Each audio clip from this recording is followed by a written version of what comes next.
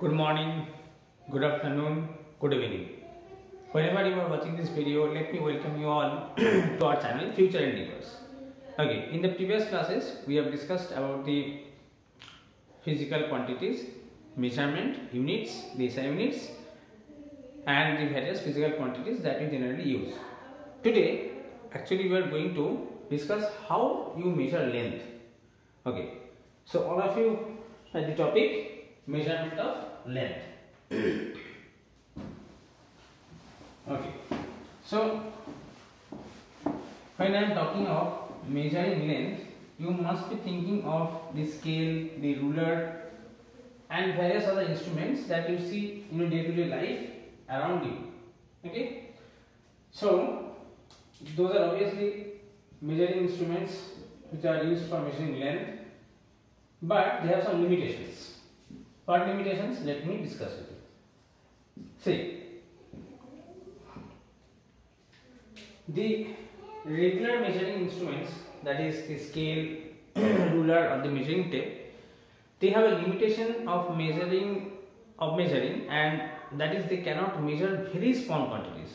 Obviously, if you have a ruler with you at your hand in now, uh, right at this moment, you can see that the ruler is calibrated into say a small ruler is calibrated into 15 centimeters. And the gap between 1 centimeter 0 centimeter 1 centimeter or 1 centimeter 2 centimeter 3 centimeter and 4 centimeter there are 10 small divisions okay? There are 10 small divisions in between two consecutive centimeter markings. Now so what can you actually do or what can you actually measure with this kind of scale you can measure say up to one decimal place of the centimeter isn't it? One decimal place of the centimeter. So it is not possible to measure it measure any further smaller quantity. Okay. Now before going into details of measuring spawn lengths we will be discussing one term which is called the least count. Okay? Least count. Now what is least count this is a very important concept. So please try to understand very carefully. See, least count in a very simple language you can say the smallest measurement that a measuring instrument can do, can measure is called its least count. Okay, the smallest measurement that can do. So obviously the ruler that you have in your hand, you can measure with accurately one decimal place of a centimeter, isn't it? That is, you can measure say length of 5.1 centimeter, 3.2 centimeter, 9.7 centimeter, like this you can measure. But you cannot actually measure up to two decimal places of centimeter, isn't it? Definitely you cannot mm, measure the length of a object as 5.32 centimeter. Okay. so, uh, so actually this is the this is the actually the smallest measurement that you can make with your measure measuring regular uh, scale is actually 0.1 centimeter. So the least count of that scale or ruler that you have in your hand is 0.1 centimeter.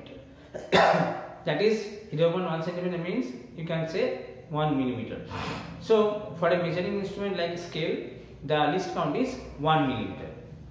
So if I uh, say the definition or if I write the definition of least count, it states that it is the smallest measurement, smallest measurement, okay, that can be done by a or by an instrument okay? Smallest measurement that we done by an instrument as for example i have already said that the smallest measurement that you can do with your regular scale or ruler is 1 millimeter or 0.1 centimeter.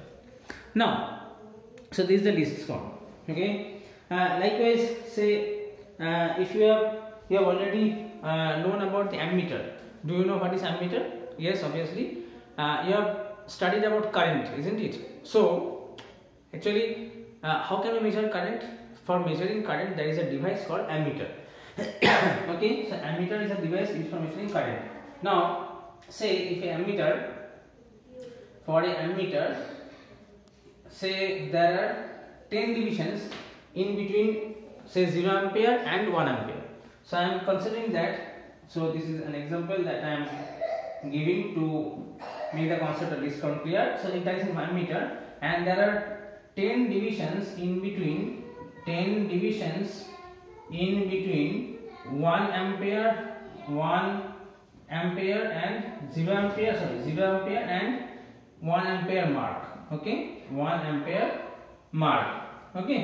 So there are 10 divisions okay? So what will be the least count? So the least count will be actually least count will be actually 1 divided by 10 that will be equal to 0.1 ampere. Okay? Now if i if i say that there are instead of 10 divisions there are 20 divisions. Say if i there are, if i say there are 20 divisions in between the 0 ampere and uh, 1 ampere mark okay? If there are 20 divisions then the least count will be if there are 20 divisions then the least count will be you say it. But if the least count the least count will be 1 by 20 so in this case when you consider that the that that actually you have 20 divisions so the least count will be 1 divided by 20 so that answer to be 0. Point, 0. Point, what is the what will be the value 0.05 isn't it 0.05 okay so that will be the value of the least count of that ammeter of that particular ammeter okay so in this way you can find out the least count. This was just a simple example like this you can take many, more examples okay? Fine. Now we will be coming to the particular topic that we have been discussing. So i think the concept of least count is clear. Okay. Now let us come back to the topic of measurement measuring the length okay? You know that as we have been talking that while measuring the length with the help of regular instruments the uh, least count can be say 0.1 centimeter or 1 millimeter isn't it? So if i want to measure length smaller than that less than less than 1 millimeter or 0.1 centimeter then what you can do uh, we can actually there are some special devices okay? Now what are the special devices? Let us uh, there are actually two special devices which you can use. One is called the vernier calipers. One is the vernier calipers okay? And second one is the screw gauge. Okay? Second one is the screw gauge. Fine? So these are the two instruments that is generally used in measuring very small lengths. Okay? Vernier calipers and screw gauge. Fine? Okay. Now we will be discussing this one by one details. So first of all i will be discussing the concept of uh, the principle of the concept of the vernier okay so let us discuss the principle of concept of vernier okay so what is the principle of vernier okay now let me at the heading principle of vernier principle of vernier okay principle of vernier okay so what is the principle of vernier see Perry vernier um, was a scientist who actually devised a method by which length up to second decimal place of a centimeter can be actually measured okay so he actually uh, overcame the limitation that uh, we generally face while measuring the length of a length with the help of a regular meter scale okay or regular ruler that you are using okay he devised a method and that method is actually called the vernier method okay so actually in this method what is uh, in this method what is done? There are two scales taken okay? There are two scales okay?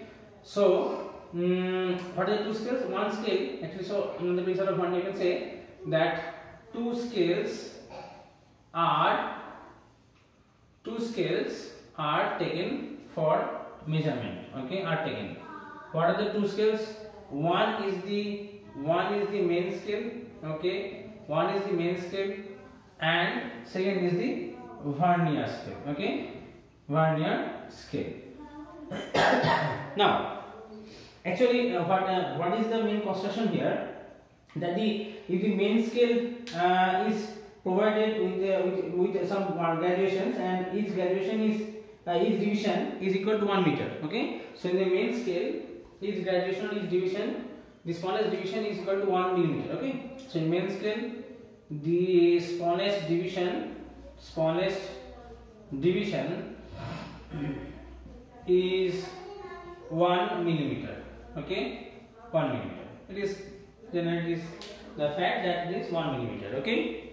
Now on the uh, vernier scale okay the there are uh, there are n divisions if the in the the constructions are made such um, in the vernier scale if there are n number of divisions in the vernier scale then it will be actually equal to n minus 1 division on the main scale so what did I say? If there are n number of divisions, this construction is made such.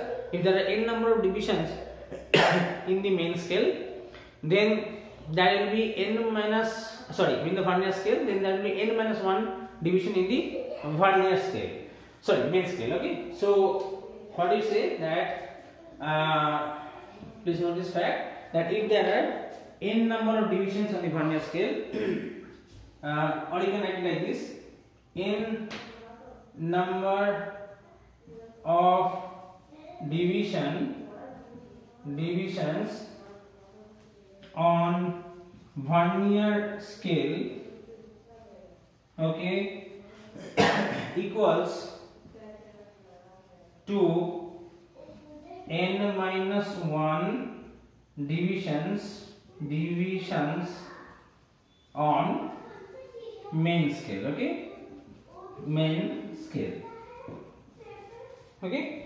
Main scale. So this is the basic uh, uh, uh, construction principle that is actually followed okay?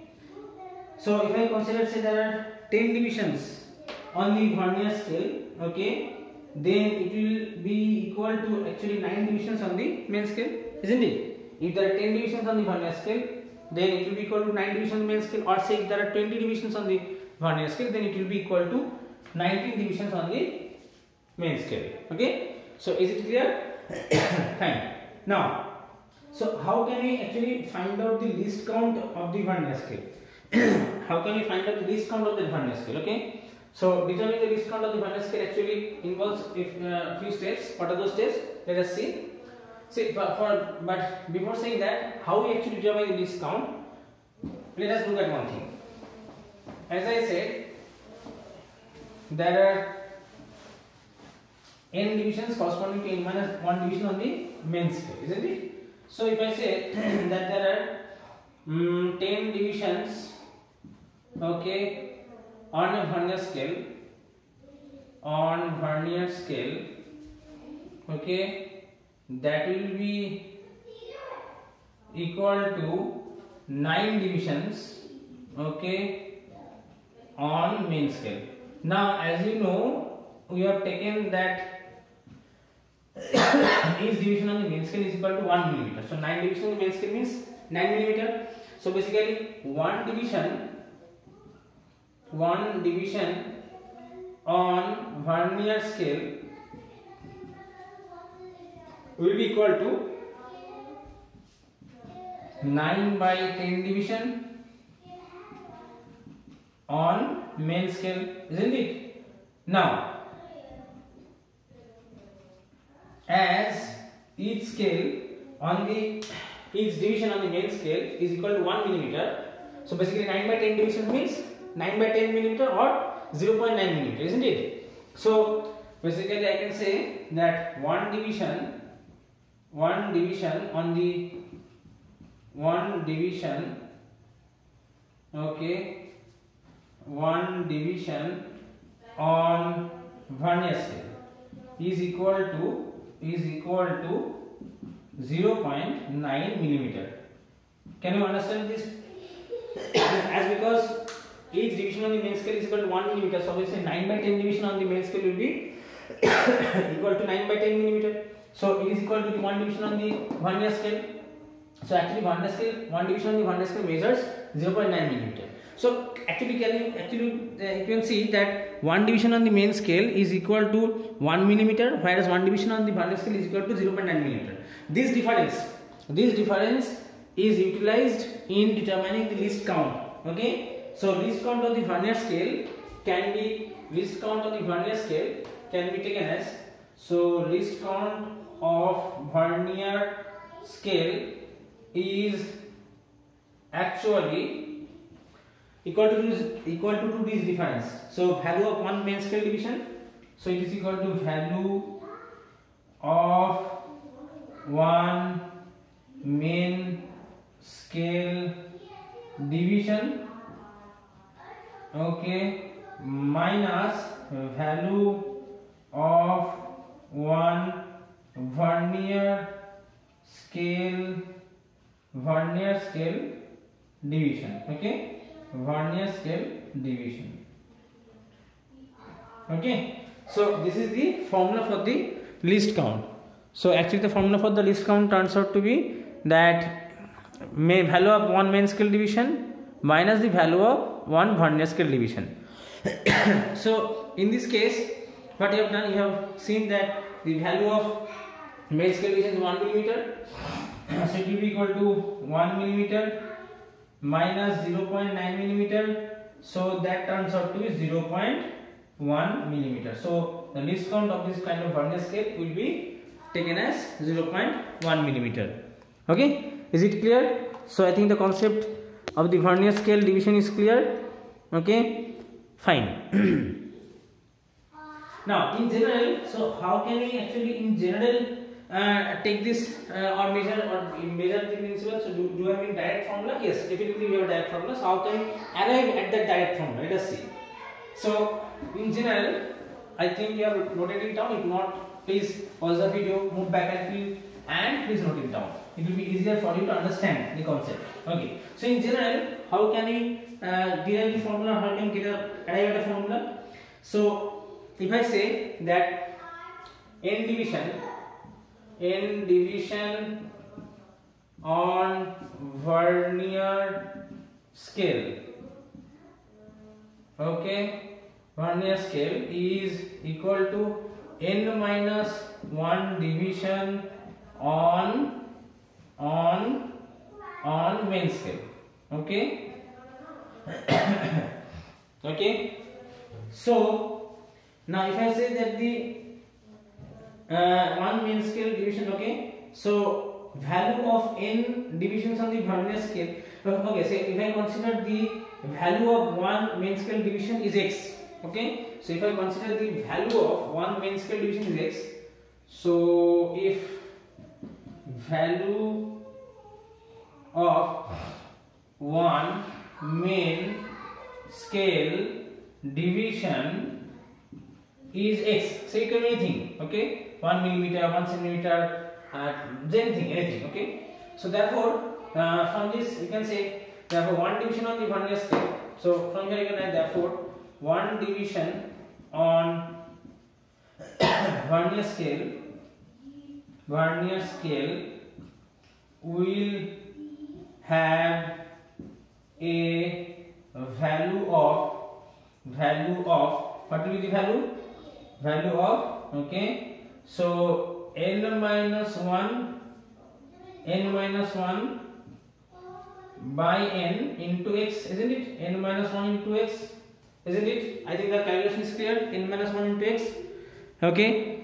Now so for the least count we will be subtracting the main scale division value of main scale division minus the value of vernier scale division so least count can be calculated as main value of one main scale division is x minus value of one scale division is n minus n into x. So if I do the LCM and calculate the value, it will turn out to be x by n. Turns out to be x by n, isn't it?